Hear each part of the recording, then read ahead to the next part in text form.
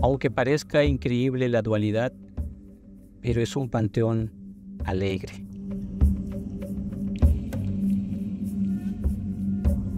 En Sinacantán pareciera que las flores brincan de los trajes de las mujeres y los hombres a las tumbas, donde descansan sus difuntos. Es como si todas las flores del mundo nacieran para llevarlas ahí de ofrendas.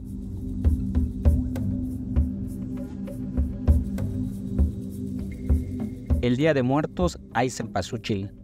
No puede faltar, pero aquí sobresalen las rosas, las lilies, las gerberas, los girasoles, Aquí sí son profetas en su tierra y en su panteón dan la muestra de que son líderes de producción de flores.